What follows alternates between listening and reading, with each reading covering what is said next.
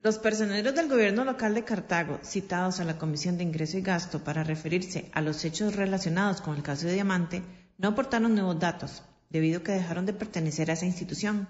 Sin embargo, sí formaban parte de la municipalidad cuando sucedieron los allanamientos. El exproveedor del municipio, Cristian Corrales Jiménez, solicitó un permiso sin goce de salario desde este año y el exdirector de la Unidad Técnica Vial, Denis Aparicio Rivera, ya no labora en la institución desde el 2020.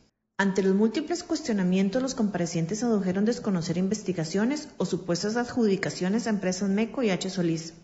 Además, indicaron no conocer a ningún personal de esa empresa. Específicamente, cuando usted fue proveedor, ¿algún personero de MECO le indicaba a usted o a alguno de sus funcionarios vía telefónica eh, cómo proceder para ensamblar, armar, poner especificaciones técnicas en los carteles de licitación, de mantenimiento de vía o obra nueva?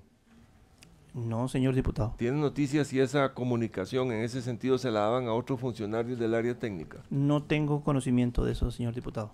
Ante esto, la diputada oficialista Ada Cuña solicitó revisar las mociones de convocatoria para que las personas en audiencia puedan brindar nueva información. En audiencia decía, señores Departamento Técnico de la Municipalidad de Cartago.